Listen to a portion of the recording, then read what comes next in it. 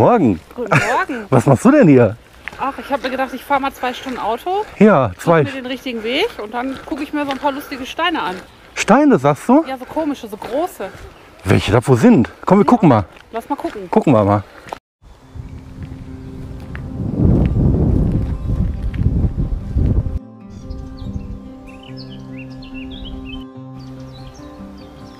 Und, hast du sie schon gefunden?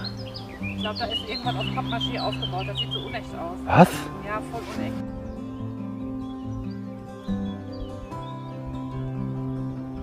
Was?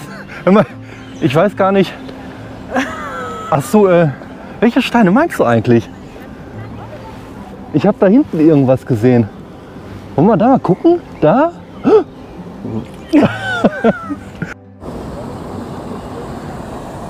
Okay. Tada, da sind wir. Wundervoll. Ja, Tag zusammen, Glück auf und frisch auf bei Potternander unterwegs. Wir haben heute einfach mal das gute Wetter ausgenutzt und sind äh, mal einfach zwei Stunden Auto gefahren, raus aus dem Ruhrgebiet, äh, sind aber innerhalb NRWs und wie ihr seht, äh, sind wir bei den Externsteinen in Horn, Bad Meinberg bei Detmold. Ja, hier war ich schon sehr, sehr lange nicht mehr. Das ist ein Traum.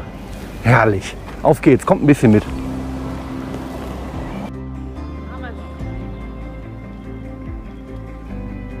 Wunderschön, guck mal. Ganz toll.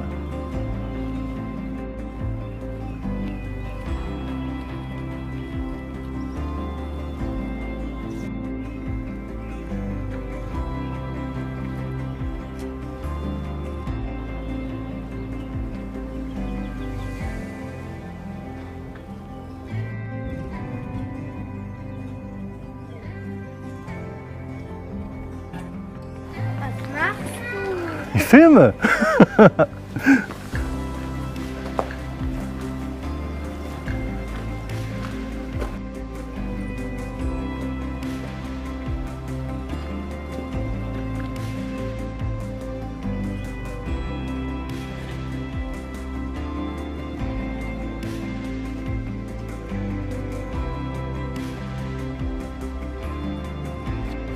Ja, die Externsteine sind wieder mal sehr, sehr gut besucht. Kein Wunder auch äh, bei diesem wirklich wundervollen Wetter. Zumal wir auch die ganze Zeit äh, wirklich Regen hatten. Und guckt euch das an, das Panorama. Das ist wirklich der absolute Oberkracher. Wir haben uns einen kleinen Rundweg ausgesucht von knapp sieben Kilometer.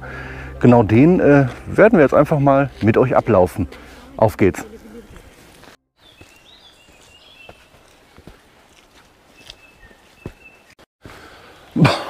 Boah, ja, wie soll es anders sein, ne? Ah, natürlich geht's hier wieder. Ja, richtig geraden.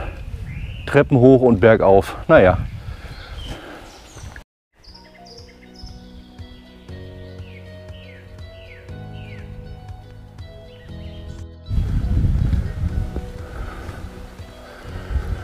Ja, und schon haben wir nach einem kurzen Aufstieg ah, einen prachtvollen Blick aus einer anderen Perspektive auf die Externsteine.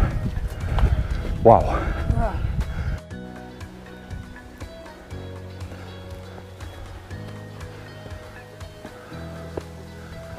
Wow.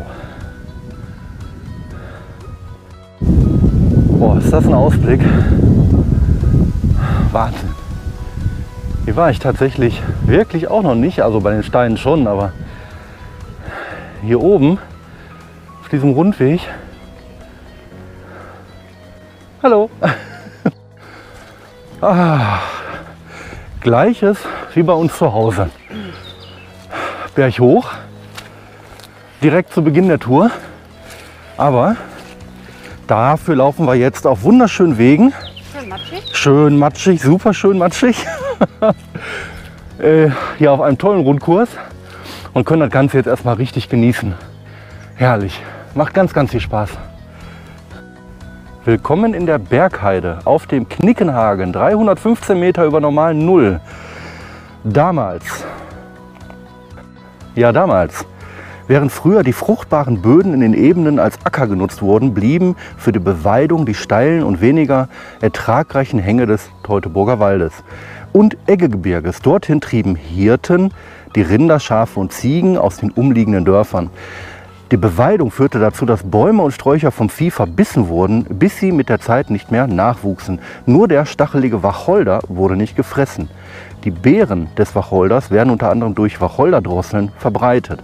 Im späten Mittelalter pflückten die Schäfer die Wacholderbeeren und brauten daraus einen Heiltrunk. Pff, ist klar. Äh, später entwickelte sich dank des Wacholders entlang des Teutoburger Waldes eine blühende Schnapsindustrie. Ja, und heute? Der Wald würde ohne den Verbiss der Schafe die wunderbare Heide zurückerobern. Aber auch die Blaubeersträucher würden überaltern. Das heißt, sie tragen weniger Früchte, später gar keine mehr und sterben dann ganz ab. Daher weiden hier jedes Jahr für eine kurze Zeit Schafe und Ziegen der biologischen Station Lippe. Die Skudde, eine alte gefährdete Landschafrasse, eignet sich besonders gut zur Pflege und damit zum Erhalt der Bergheide. Und hier, liebe Zuschauerinnen und Zuschauer, sehen Sie ein besonders seltenes Exemplar dieses Heidschnuckenschafes. Pass auf, das ist Scheu. Hinterher!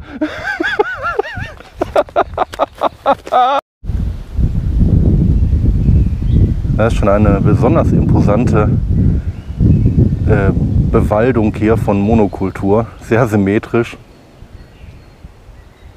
Geradezu künstlerisch, aber äh, bringt irgendwie nichts mehr.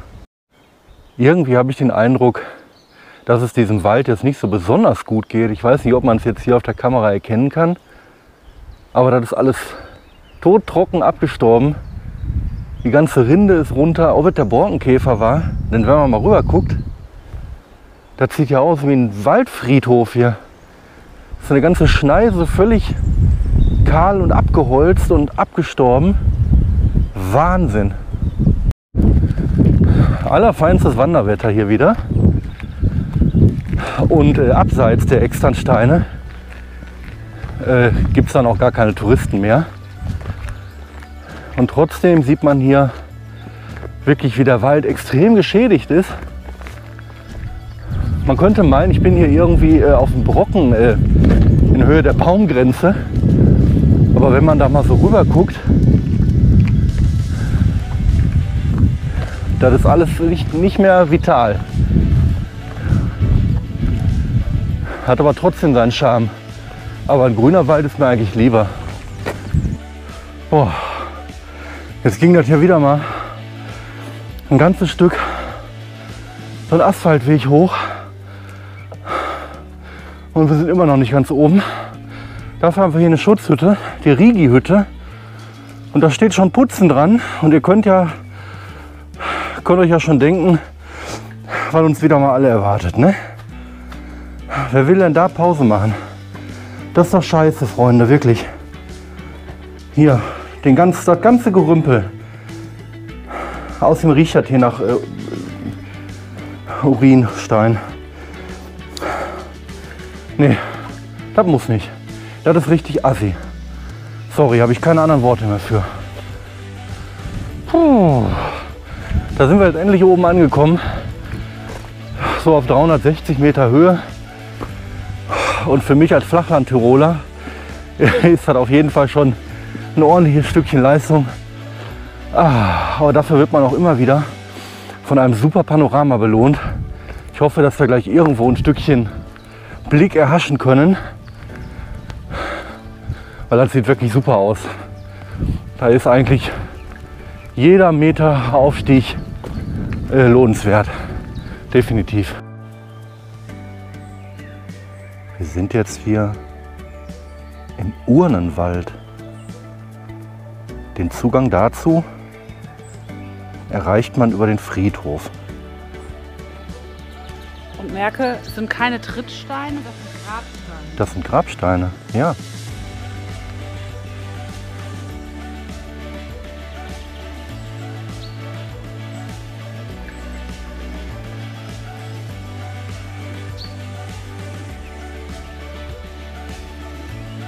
Wahnsinn.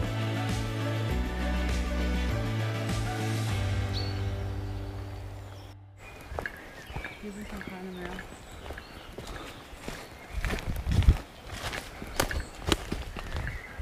Doch? Hier sind noch weitere.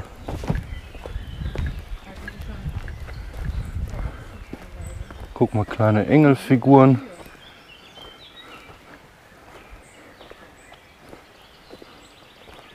Noch gar nicht so alt. Abseits vom Friedhof, einfach im Wald.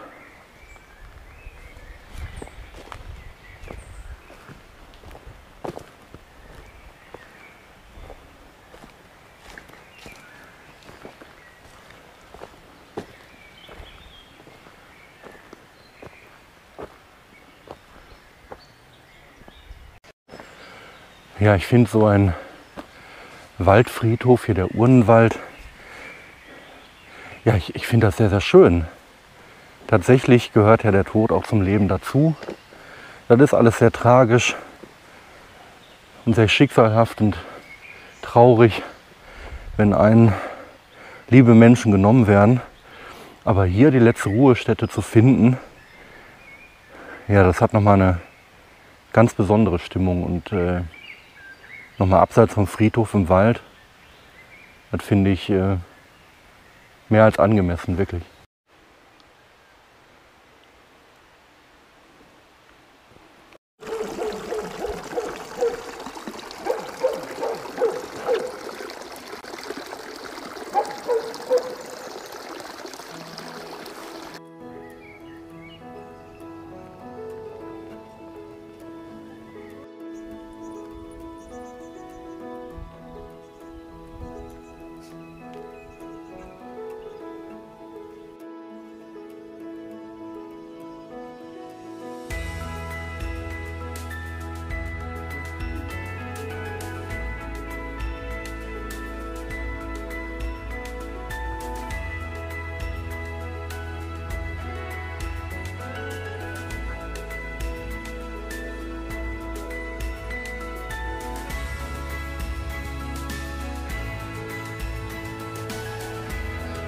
Ja, das war mal wieder von Potterländer. Wir verabschieden uns vom Hermannsdenkmal. Sagen Tschüss, Glück auf. Bis zum nächsten Mal. Vergesst das Rausgehen nicht und sucht euch einfach einen schönen Ort aus. Es gibt vieles zu entdecken. Bis bald, macht's gut. Euer Schrömi von Potternander. Ciao.